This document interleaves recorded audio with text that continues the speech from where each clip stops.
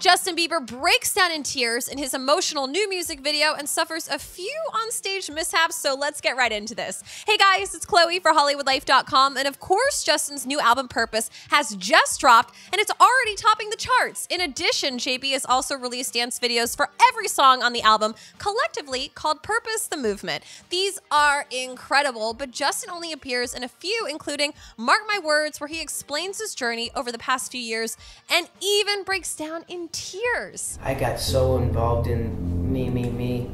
You just can't help feel judged.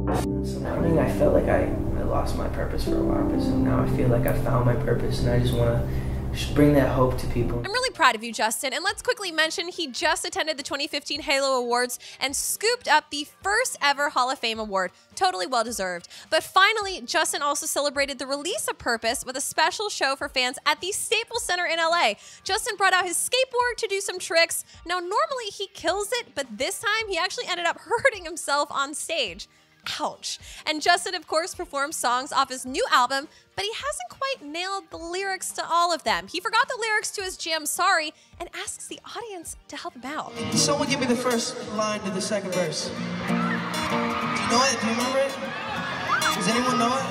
Does anyone know it? I don't know it. It's my song. I don't think it's... I'm just trying to get you back on me. Cause I'm missing more than. Whatever, he still sounds amazing, but I have to hear from you guys. What do you think of Justin's new album? Thank you guys so much for watching. We love you, but all we ask so that we can keep making these videos is that you subscribe to our channel, which is so super easy. All you have to do is click on me on your desktop or down here below on your mobile device to subscribe, and that's it. Okay, begging session officially over. Bye, guys.